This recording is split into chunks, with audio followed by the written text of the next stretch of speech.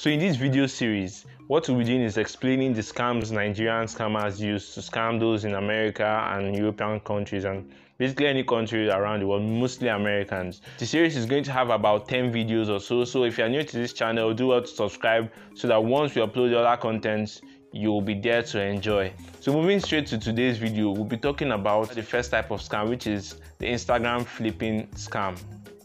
Though they call it format here in Nigeria or it's also a way of scamming, but it's called the scamming format or whatever whatever it's called. I really don't know, but I guess that's what it's called amongst the scammers. So the way this Instagram flipping works is that they get to hack an Instagram account. It's quite easy to hack an Instagram account, especially when you don't have your two-factor authentication enabled. That's why it's always advisable you add two-factor authentication or you, or you enable it. Most people don't know about it, but it's it gives you that extra um, layer of security. Your account will be very difficult to hack if it has that two-factor authentication enabled. But the accounts that are easier to hack are those ones that don't have it. So they know how to find it and they know how to hack it. What they will do is that they will just upload the post and say, "Oh, I just got two thousand dollars in addition to the one thousand dollars which I originally invested."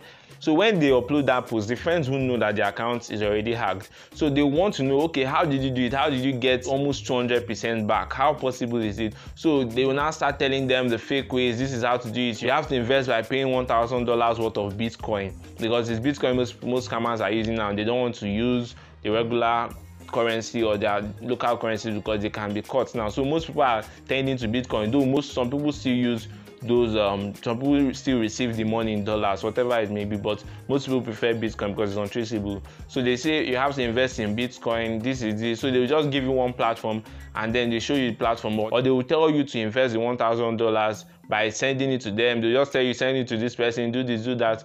And then by the time you do it what they do is they just block you immediately from their account and then they move on to the next person, the next friend. Okay, so that's the way this particular scam works. The only technical thing about that, that scam is just hacking an Instagram account. Once that is done, the other things are easy. So what they leverage here is the trust of that particular poster or the person that posted it. Okay, so they will feel, oh, this is my friend that posted it. Let me just, I want to invest in this also, without knowing that that person is not even that friend, that the person's account was hacked. So how do you mitigate this? When you see things like that, when you see something ridiculous like that, don't just rush because most times it's greed or let me not say greed, desperation most times that makes people want to okay increase money from a whole one thousand dollars to almost four thousand dollars or three thousand dollars. It's greed that causes it or desperation. Maybe some people just are in financial issues and they need to get out of it. It's quite understandable, but don't be in a hurry the best way to confirm that is either you do a video call with that person and then get to talk with the person. Like i always say